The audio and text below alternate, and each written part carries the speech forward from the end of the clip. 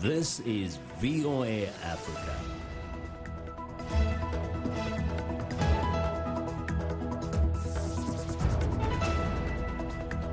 Good evening. I'm Esther Githui Ewart. It's Thursday, October 3rd. This is Africa 54.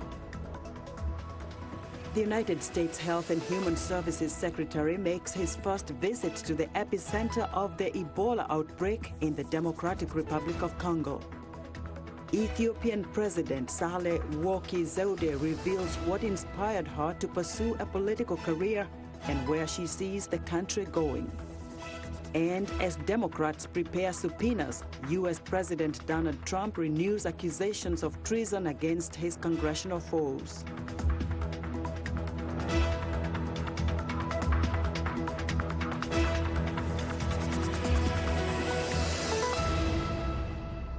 The deadly Ebola virus is once again spreading rapidly and terrorizing residents in several African countries. The Democratic Republic of Congo is in particular peril. VOA traveled with U.S. health officials in mid-September to the epicenter of the outbreak along the country's remote northeast border. The U.S.-led delegation brought hope and medicine to the region, but serious challenges remain. VOA correspondent Mil Arcega was on the trip and reports from DRC. It's a journey few Westerners will make over rainforests and active volcanoes, past the winding, dusty roads leading to the remote village of Butembo. Here, elbow bumps replace handshakes. Shoes and hands are disinfected. Anyone who enters, checked for fever. This is U.S. Health and Human Services Secretary Alex Azar's first visit to the Ebola Treatment Center in Butembo, the front line in the battle to stop the deadly virus. It's an incredibly tragic situation, especially to see the children. So many, so many children. I think that probably was one of the things that struck me the most, were how many kids are here. But I also came away with more hope than I thought I would. The outbreak began last year. It's now the second worst ever. More than 3,000 people infected, more than 2,000 dead. But there is hope for a cure the development of two new drugs synthesized from the blood of an Ebola resistant patient. You know, it's a game changer. I mean, it's a game changer. Dr. Anthony Fauci was part of the team that helped develop the new drugs. Not a cure exactly, but extremely effective. When you say a cure, it's almost as if everybody who gets it is now going to be okay. There are still going to be people who come in so advanced that no drug is going to help them. But clearly, if you get one or the other of these two drugs, you dramatically diminish the mortality of Ebola. But cultural mistrust is common here. Some believe Ebola is not a virus, but a man made poison. The misguided perception of Ebola treatment centers in the past has been that sick people would walk in into these centers and they would ultimately leave either in a body bag or in a coffin. But there's a lot of people in this community working hard to change that perception. Among them, Mulyanza Huguet. The young woman made a full recovery after receiving the experimental drug monoclonal antibody 114. Today, she goes from village to village, urging families to seek early treatment. Another serious challenge is security. More than 100 warring factions vie for dominance along the porous eastern borders of the Congo. In this part of the world, protecting health workers is a full-time job. Thousands of you know security incidents, and anytime you have disruption in your intervention, of course, the virus will replicate, and we will, you have to catch up. So it's taking a lot of energy and time. The United States has already invested over $300 million to develop anti Ebola vaccines and treatments. Secretary Azar hopes his visit demonstrates America's commitment to the region. If it helps reinforce the fact that we're, we were in this before the first Ebola case and we're going to be there after the last Ebola case and it's a part of a community effort and community engagement, well, then I'm, I'm delighted if it had any impact. Mil Arcega, VOA News in Butembo, DRC. The United Nations says nearly 600 refugees are returning home to Burundi Thursday after departing Tanzania. The refugees are the first group in a mass repatriation that some migrants fear could force them back against their will. Hundreds of thousands of Burundians fled a surge of political violence in 2015 when President Pierre Nkurunziza ran for a third disputed term in office and opponents accused him of breaching the constitution. A UN commission on Burundi reported in September that there was risk of a fresh wave of atrocities as the nation approached the 2020 election with its political crisis unresolved. Burundi and Tanzania agreed in August to start repatriating 200,000 refugees, saying that conditions in Burundi had improved. Tanzania and the UN say all of Thursday's returns had been voluntary. Hundreds of wives and children of Malian soldiers demonstrated Wednesday in Bamako. They are demanding information from the government after at least 25 soldiers were killed and 60 went missing in attacks by suspected jihadists. The raids on two army camps Monday in central Mali were among the deadliest this year against soldiers struggling to repel increasingly brazen attacks by militant groups, some with links to Al-Qaeda and Islamic State. The roughly 300 protesters who gathered in front of a military base accused army chiefs of withholding needed resources from soldiers in the field. Rwandan prosecutors on Wednesday charged 25 men with treason and other crimes related to their alleged activities in a rebel group founded by a South African-based dissident. The suspects are expected in court Thursday to make a plea. The men appeared in a military court Wednesday in Kigali for the first time since being repatriated in June from neighboring Democratic Republic of Congo, where they were captured. The suspects included Habibu Mudathiru, a former Rwandan soldier who prosecutors say was in charge of operations and training in Congo for the Rwanda National Congress, a rebel group founded by Kayumba Nyamwasa. Nyamwasa, a former ally of President Paul Kagame, is now a Rwandese dissident based in South Africa. In the past, Rwanda has accused Uganda and Burundi of working with Kayumba's rebel group in a bid to remove Kagame from office. Relations between Rwanda and its two neighbors have since been strained. Now, the start of Somalia's school year marks the first time since its civil war broke out that the government has issued a new curriculum for students. Serena Chaudhry explains. These Somali children are used to traveling through Mogadishu's battle-scarred streets to get to school. Now they have a different challenge, learning from a new curriculum. The start of the school year marks the first time since the civil war broke out in 1991 that the government has issued a new syllabus for primary and secondary school students. During the war, there were more than 40 curricula used across Somalia. Schools had to make do with whatever they had. Students are coping well with the new curriculum because it's based on their religion, culture and vernacular. They're finding the new curriculum easy to understand. They're learning well under this new curriculum and can even read the books on their own now. Only four out of ten children are enrolled in school in Somalia, one of the lowest rates in the world according to the United Nations. Education accounts for less than 5% of this year's budget of $344 million. There are undeniable challenges. Right now, there are over 30,000 teachers, but only about 22% of those teachers are qualified and certified. You can understand that the quality of students depends on the quality of the teachers.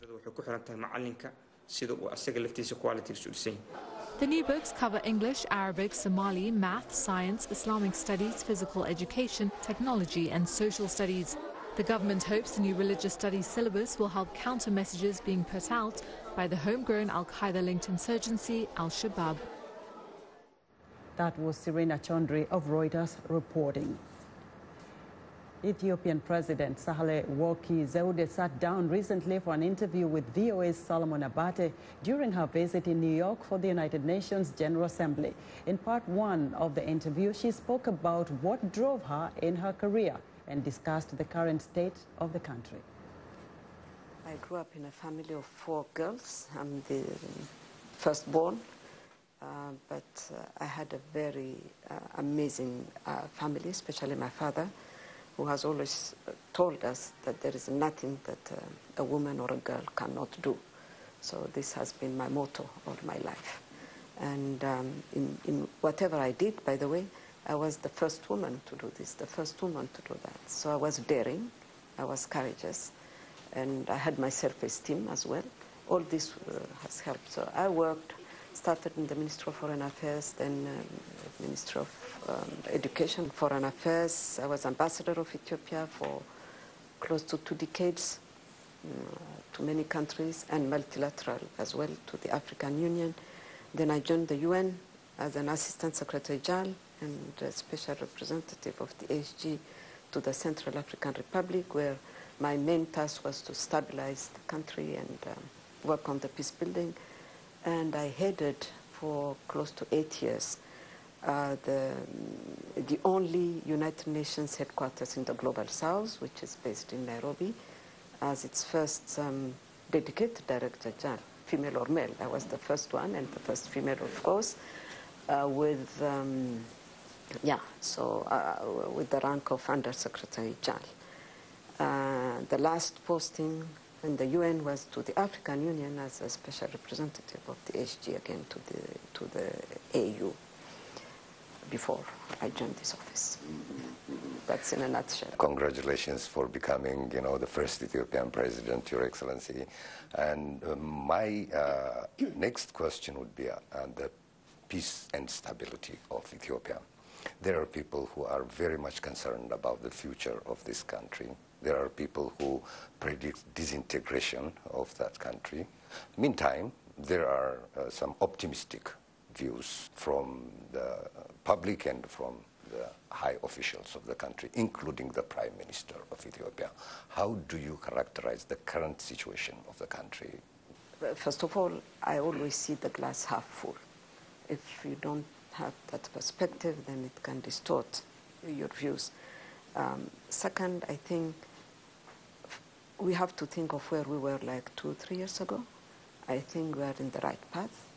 I think we have, um, this is what we should be doing, consolidate. We have the conducive environment. Of course, it, it, it, it can be, it can be um, improved as we move on. But we have the, con the conditions now for everybody to come in and to play its role. Um, so if we put the interest of our country first, the interest of our people first, the peace-loving people of Ethiopia, because it's the pe people which, are, which have suffered most uh, uh, whenever we, we, we, lost it. So um, I think we have really to, to come together to draw a red line, not to cross when it comes to peace, uh, because um, it cannot be used as a political expediency. This is too serious of an issue. Um, so, yeah, with all this in mind, and with the conducive situation in Ethiopia, I think we have a, a good opportunity to, to move along. In Friday's part two of the interview with Ethiopian President Sahle Worki Zewde, VOA Solomon Abate asked the president about gender parity in government and what role she hopes to play in ensuring regional security, including Ethiopia's relationship with Egypt and tensions surrounding the Grand Ethiopian Renaissance Dam. Now, scores of senior doctors in Zimbabwe's public hospitals are threatening to strike Thursday unless the government meets their demand for a pay increase and better working conditions. If they walk out, they would join over 500 junior doctors who have been on strike since September 3rd for the same reasons. Doctors have complained that their salaries, less than $200 a month for juniors, barely covers their living expenses. 200 senior doctors, including specialists, are set to walk off their job. We're excited to hear what you think about Africa 54. Join the discussion on Facebook. The address is Africa 54. We're also streaming our broadcast live on Facebook. Please watch and share our show with your friends. Also, check out our headlines 24 7 on voaafrica.com. Still to come, could crickets hold the key to ending global hunger? We'll be right back.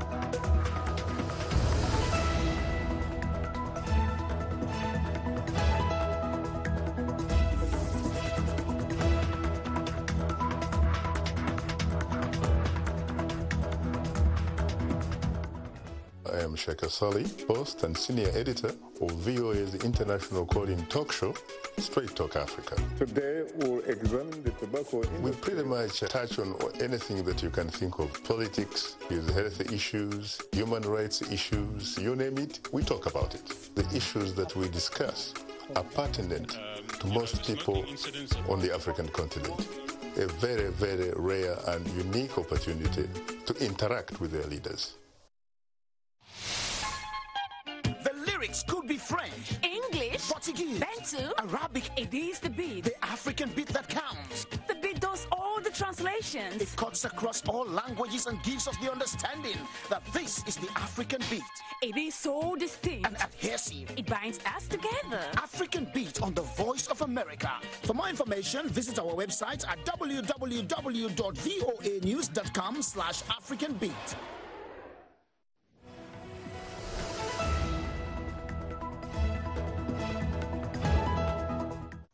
I'm Clara Frank, and here's what's trending.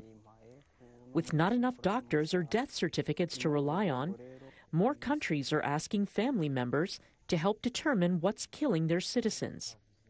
Called verbal autopsies or lay death recording, medical practitioners question relatives on medical history and symptoms after a person has passed away to try to determine the correct cause of death.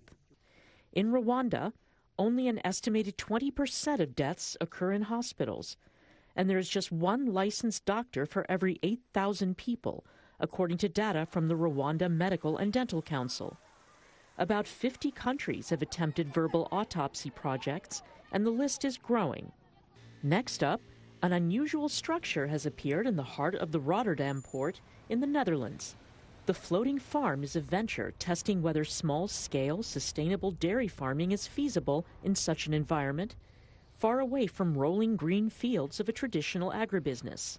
Power from the farm comes from a solar panel array floating nearby. The farm sells some bottles of raw milk on site to visitors, while the rest is pasteurized and turned into milk or yogurt. And finally, it's an unusual welcome for guests at Tokyo's Henn na Hotel, which has recently thrown open its doors to customers. The receptionists are a dinosaur, a ninja, and a butler that looks like he came straight out of a Japanese cartoon. Greeting. Each hologram is programmed to speak four languages. In the rooms, a tablet controls room functions such as the lights and also shows guests how busy the downstairs restaurant is. It's also full of tourist information, allowing you to make bookings in the local area, as well as information on where to shop or how to get to local attractions. And that's what's trending today. Now, former U.S. Special Envoy for Ukraine, Kurt Volker, is on Capitol Hill testifying before three committees of the House of Representatives Thursday about his involvement in President Donald Trump's dealings with Ukraine. Lawmakers want to know if Volker is linked to a whistleblower's complaint that Trump sought help from Ukrainian President Volodymyr Zelensky to get dirt on his political rival, former Vice President Joe Biden, a Democratic presidential contender, and his son Hunter. Volker is expected to give a deposition in private to staff of the Intelligence, Oversight and Reform and Foreign Affairs Committees, all at the center of an impeachment inquiry involving President Trump. President Trump continues to attack Democrats and a whistleblower who wrote a complaint about the president's phone call with the leader of Ukraine. The president is again accusing them of treason. VOA's Patsy Widakuswara has more. Even as he welcomes Finnish President Sauli Niinistö to the White House, President Donald Trump continues to attack the whistleblower who drew attention to his July call with the president of Ukraine. He either got it totally wrong, made it up, or the person giving the information to the whistleblower was dishonest. And this country has to find out who that person was, because that person's a spy. Democrats move forward with impeachment inquiry as they prepare to subpoena the White House for documents related to the call where Trump pushed for incriminating information about his opponent, former Vice President Joe Biden. The president wants to make this all about the whistleblower and suggest people that come forward with evidence of his wrongdoing are somehow treasonous uh, and should be treated as traitors and spies. Um, this is a blatant effort to intimidate witnesses. Uh, it's an incitement to violence. The president repeated his accusation that Adam Schiff committed treason for his public reading and paraphrasing of Trump's call. The language that the president is using right now is quite unprecedented and quite dangerous. To accuse sitting members of Congress of treason, um, which is a, a, specific statute under uh, federal law with a very specific uh, burden and high burden to meet, uh, is inappropriate. Three House committees have scheduled depositions with current and former State Department officials, including Kurt Volker, the Ukrainian envoy who resigned last week, and former ambassador to Ukraine Marie Yovanovitch. Secretary of State Mike Pompeo said the Democrats are trying to intimidate and bully State Department employees. Pompeo, who is under subpoena, admitted he was on the July phone call. Uh, the phone call was in the context of now, I guess I've been the Secretary of State for uh, coming on a year and a half. Um, I know precisely what the American policy is with respect to Ukraine. Democrats warned that Trump administration efforts to impede a congressional impeachment investigation into the president will be construed as obstruction of justice. Patsy Widakuswara, VOA News at the White House. A commemoration was held in Turkey to mark the first anniversary of the murder of Saudi journalist Jamal Khashoggi, who was killed and dismembered in the Saudi consulate in Istanbul. Khashoggi's murder triggered widespread international condemnation of Saudi Arabia, and the calls for justice are continuing. Here's Dorian Jones in Istanbul. The commemoration in Istanbul was a somber affair, held just a few meters from the Saudi consulate where Jamal Khashoggi entered to collect paperwork to get married. But instead, death awaited him at the hands of a Saudi hit squad suspected of acting on orders of Saudi Crown Prince Mohammed bin Salman. Khashoggi's fiancée, Hatice Cengiz, led today's ceremony.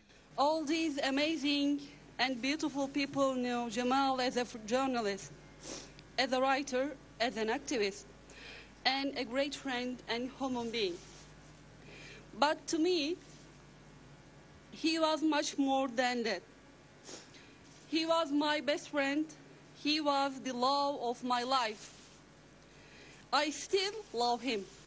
Representatives of international human rights groups and friends of the journalist were among those attending the ceremony. Among them, Amazon CEO Jeff Bezos, an owner of the Washington Post newspaper, which published Khashoggi's columns. You need to know that you are in our hearts.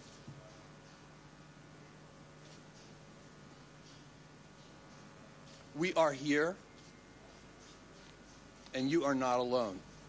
Khashoggi's critical columns of Salman are believed to have made him a target. Eleven people have been charged in Saudi Arabia with Khashoggi's murder, some of whom were caught on Turkish security cameras arriving in Istanbul. The Saudi Crown Prince denies any involvement in the killing, and rights groups' efforts to hold him accountable are fading. Even world leaders appear anxious to move on from the controversy, says human rights activists. I think it's necessary to remind everyone uh, what sorry state the international order has come to that allows um, a, a, state like Saudi Arabia to be able to murder a critical journalist in their own uh, consulate building. Um, to remind people how important it is to get justice for Jamal Khashoggi and to make journalists um, all around the world um, safer as a, as a result. Those in Istanbul attending the commemoration pledged to bring all those to account and not to let Khashoggi's murder become a footnote in history. Dorian Jones, VOA News, Istanbul.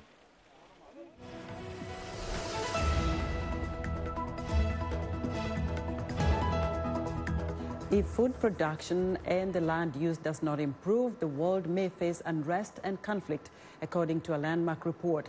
The study by the Food and Land Usage Coalition of Universities and Environmental Organizations says current agricultural practices contribute to food shortages and global warming. Rudy Elmendorp has more from Kisumu, Kenya. Nothing unusual about these loaves of bread, but there is a difference. This bread was baked using flour derived from crickets. In Kisumu, Kenya, 54-year-old farmer Charles Odira is rearing insects usually known for their chirping. He got the idea to raise them for food after visiting a farming fair in Thailand. When I went there and I saw how they were rearing crickets there, how it was helping the, uh, the, the, poor, the malnourished, how it was uh, uh, bringing income to the farmers. Then when I came back, I came back a cricket farmer. Odira started with 50 crickets he trapped in the wild. Now, a few years later, he has a colony of up to 300,000 insects. They thrive on chicken feed and plant leftovers. According to scientists at the International Center of Insect Physiology and Ecology in Nairobi, or ICIPE, crickets are good for human consumption. Crickets are very rich uh, in protein, ranging between 62 to 65 percent, which is superior to that of meat, which ranges between 25 to 30 percent. Insect protein will be very good for lactating mothers as well as uh, children less than five years. Odira has built a network of 100 cricket farmers but there is a threat. A bacterial infection nearly obliterated the colonies in the whole region, and farmers had to start again from scratch. They are recovering with support of ICIPE. The benefits of cricket farming prompted the Food and Land Usage Coalition to propose raising insects as a way to tackle food shortages. Scientists at ICIPE agree with some conditions the traditional food system, which was based on wild harvesting, has to be uh, uh, uh enhanced or improved uh, with the new mass rearing techniques, uh, with better understanding on the, on the safety of these insects, Uh, so that uh, it can be taken up by large uh, communities. And because of less intensive farming methods, crickets help reduce global warming, according to the Food and Land Usage Coalition. The crickets in Odira's farm are eaten or end up in bread and cookies. Fred Odhiambo has various reasons for buying it. I love this bread because it gives me more energy than normal bread. And as Odhiambo, for one, enjoys his cricket breakfast to the fullest, experts say it might one day feed many and help prevent conflicts in parts of the world where the population is growing and food resources are becoming more scarce. Ruud Elmendorp for VOA News, Kisumu, Kenya. Now, the United States has won a record $7.5 billion award over illegal European Union subsidies to airline builder Airbus. This is the largest arbitration award the World Trade Organization has ever handed out to a complaining party. The WTO's decision is final and cannot be appealed. The U.S. brought the European Union before the WTO in 2004, accusing Britain, France, Germany and Spain of giving illegal subsidies and grants to Airbus, making its uh, commercial jets much cheaper on the global market than Airbus's chief U.S.-based rival, Boeing.